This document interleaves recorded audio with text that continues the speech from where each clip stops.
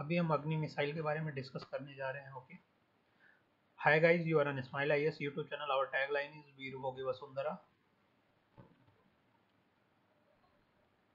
Agni missile is a family of medium to intercontinental range ballistic missile developed by DRDO most of the missile in India is developed by DRDO okay यहाँ पे आप पढ़ो intercontinental range ballistic missile okay ये represent करता है range को। Range क्या होना चाहिए?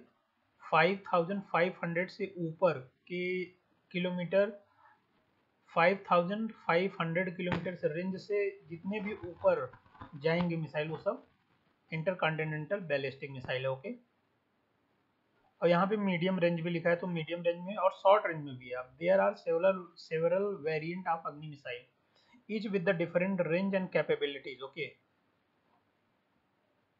Agni's first has the range up to 700 kilometre okay तो ये शॉर्ट रेंज बैलिस्टिक मिसाइल है।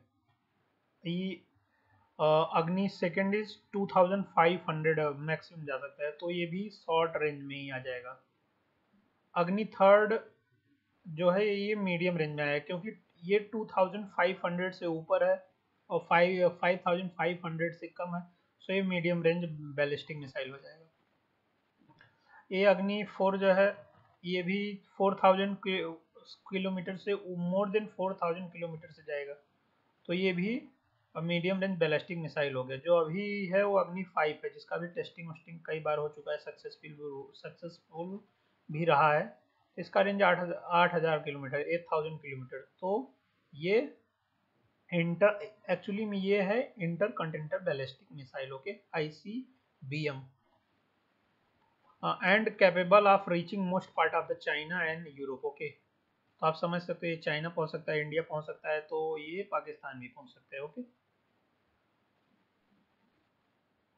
Agni missile is a part of India nuclear triad which is the country's ability to deliver the nuclear weapon from air land sea the Agni missile is operated by the Indian army strategic force command and has been successfully tested multiple time okay.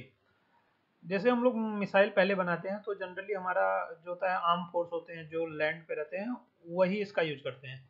लेकिन government ने क्या किया? अब diversify करा जैसे अगर मान लो कोई एनिमी कंट्री है, वो हमारे पे अटैक कर देता है तो हम, हमारे पास एक ही है तो उसको एक बार डिस्ट्रॉय कर दे तो हम रिस्पॉन्स नहीं कर पाएँगे। ओके? तो हमने क्या किया? इसको डाइवर्सिफाई कर दिया। एक एयरफोर्स को दे एयरफोर्स में भी करवा दिया, एक नेवी में भी करवा दिया, और एक आर्मी वाले में भी करवा दिया। आर्म फोर्स सो अगर एक डिस्ट्रॉय करेंगे, कम से कम हमारे पास दो ऑप्शन रहेगा रिस्पॉन्ड करने के लिए। ओके तो हम रिस्पॉन्स कर पाएँगे। इसीलिए हमने डाइवर्सिफाई किया जा रहा है। इसीलिए यहाँ पे बोला गया है, हम लैंड एयर सी कहीं से तीनों स्थान से। और तीनों का सक्सेसफुल टेस्ट भी हो चुका है। Okay the development of Agni missile system is a part of India's efforts to strengthen its defense capabilities and maintain strategic deterrence. And the missile accuracy, range, payload capacity make it formidable weapon in the country's defence arsenal okay mainly हम यहाँ पे किसी को मतलब डराने या वो करने के लिए नहीं कोई हमारे ऊपर अटैक करे तो हम एटलीस्ट अपने आप को प्रोटेक्ट कर सके हमारा एक वो है ओके और यहाँ पे एक बात और, जैसे यहाँ पे जो रेंज लिखा हुआ है, ये रेंज आप जैसे गवर्नमेंट के वेबसाइट पर जैसे डीआरडीओ को वेबसाइट खोलोगे तो आपको मिलेगा नहीं data okay mainly there are several reason क्योंकि हम लोग कई ट्रीटी में है तो हमें नॉट जस्ट इंडिया आप किसी भी देश का भी ऐसे खोलोगे तो आपको कोई इन्फॉर्मेशन पता नहीं चलेगा। जैसे यूएसए का यूएसए का मैं न्यूज़ में पढ़ा था, जैसे मुझे न्यूज़ में जो डेटा मिला तो 90 90 50 के दौर 90 60 के दौर में उन्होंने जो यूज़ किया था वो 16,000 था। उस समय वो 16,000 यूज़ किए होंगे। अभी वो अपग्रेड किए होंगे तो वो शायद वर्ल्ड के किसी भी देश में पहुँच सकते हैं ओके? कोई भी ऐसा प्लेस नहीं होगा जहाँ उनका मिसाइल ना पहुँच पाए ऐसा कुछ है ओके? और और जैसे यहाँ पे भी जो डेटा लिखा हुआ है आपको वो मैंने न्यूज़ न्यूज़ से ही इसको ढूंढा है ओके? एक्चुअली आप एक्चुअल डाटा नहीं मिला ओके? अब जैसे आप चाइना का न्यूज़ फॉलो करो या पाकिस्तान या इवन फॉरेन कोई न्यूज़ फॉलो करो तो उन सब में लिखा रहता है, ये रेंज है इंडिया कम करके बता रहा है। जैसे China specially China Global Times में आपको ऐसा मिल जाएगा। अग्नि मिसाइल, ये जो मिसाइल, अग्नि मिसाइल बना हुआ है, इसको इस प्रोग्राम के तहत बनाया गया integrated guided missile development programme okay and was a programme launched by the government of India in 1983 to develop a range of missile system for the Indian Armed Force. Okay, and the program was headed by the renowned Indian scientist and former President Dr. APJ Abdul Kalam. Okay, and was carried by the DRDO uh, and other associated organization. Okay. इस programme के तहत सिर्फ़ अग्नि ही नहीं बनाया गया जैसे आप और देख सकते हो यहाँ पे अग्नि सीरीज़ तो है ही है उसके अलावा पृथ्वी सीरीज़ का है सरफेस टू सरफेस मतलब आकाश है medium range surface to air missile Trishul है short range surface to air missile Nag anti tank guided missile okay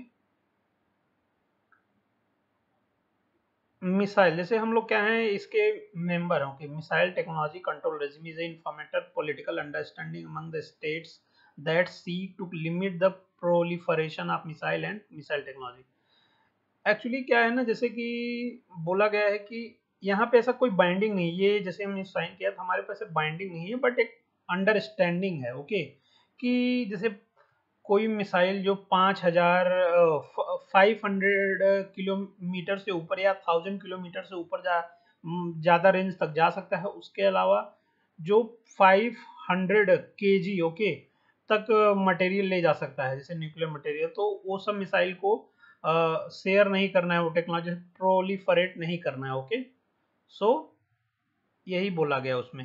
तो इसीलिए हम भी उसके मेंबर थे ये सब अब जैसे बेचना वचना अगर हमें मान लो कभी चाहे ऐसा बेचे तो ऐसा बेच नहीं सकते। तो हमें उसमें पूरा समझना पड़ेगा क्या है ओके जैसे कम से कम जो अच्छे देश हैं उन्हें बेचना है।